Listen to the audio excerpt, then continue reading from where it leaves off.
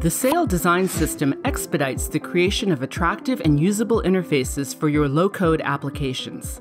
It consists of the Appian low code UI framework called SAIL, along with helpful design guidance and patterns provided by the SAIL design system site.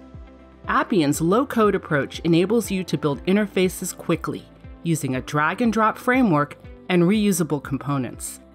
The SAIL expression language connects these UI components using data and logic to create powerful applications. Enjoy a smooth path from design to development.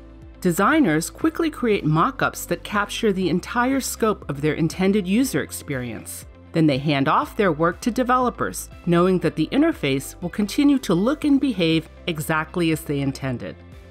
Use the same design to support users on desktops, laptops, tablets, and smartphones.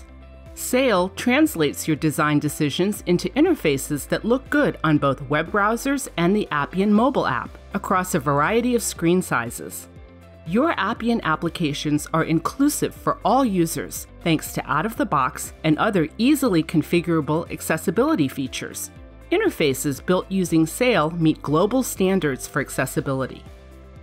The SAIL Design System site helps you during all phases of interface design and development. For an overview of the SAIL design system and how it works, read the Getting Started page. Before starting your own design, browse ideas and best practices. Check out our inspiration page to see some great examples. Also refer to the guidelines page for our recommended design best practices. Get a jump start on creating interfaces by looking through our patterns for those that correspond to your application needs. Many of the patterns include an expression that you can copy and paste into an interface. You can even demo some of the patterns directly in the Design System site.